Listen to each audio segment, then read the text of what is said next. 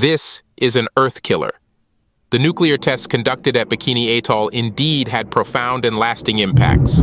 The series of tests, which included the detonation of 24 nuclear weapons, produced a combined yield of about 75 megatons of TNT in explosive power.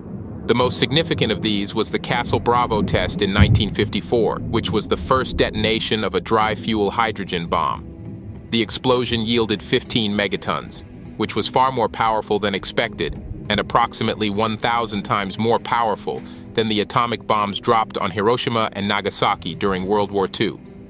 The fallout from these tests spread radioactive material over a vast area.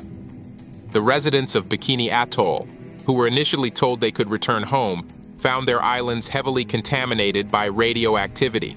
Many of those who returned years later suffered from radiation sickness, birth defects, and increased levels of cancer.